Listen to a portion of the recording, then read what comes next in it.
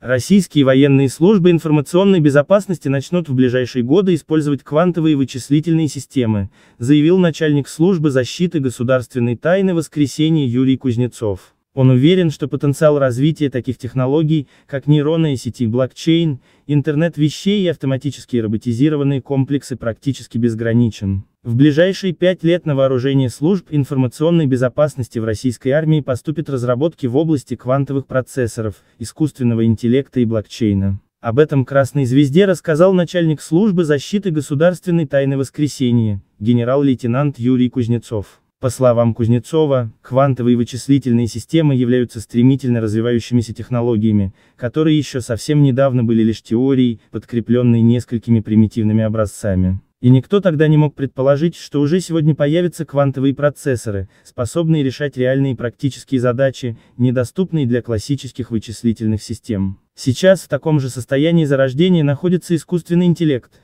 машинное обучение и другие, а потенциал развития уже используемых технологий, например, нейронных сетей, блокчейна, интернета вещей и создания автоматических роботизированных комплексов практически безграничен. Их повсеместное внедрение открывает новые, еще до конца не исследованные угрозы информационной безопасности, рассказал генерал. Учитывая темпы развития инновационных технологий, практическое внедрение указанных Полный текст читайте на сайте cryptofans.ru, ссылка на новость доступна в тексте под видео.